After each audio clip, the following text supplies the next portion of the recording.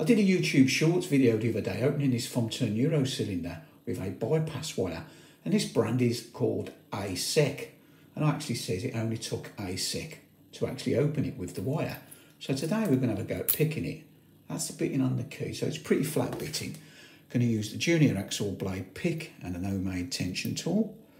And let's see what it picks like. Obviously you can bypass it easy enough, but does it put up a, a fight when picking? No, it still only takes a sec. Now let's have a go with the rake. So I'm just going to rock on the pins with the rake to the back of the lock. Yeah, still only takes a sec.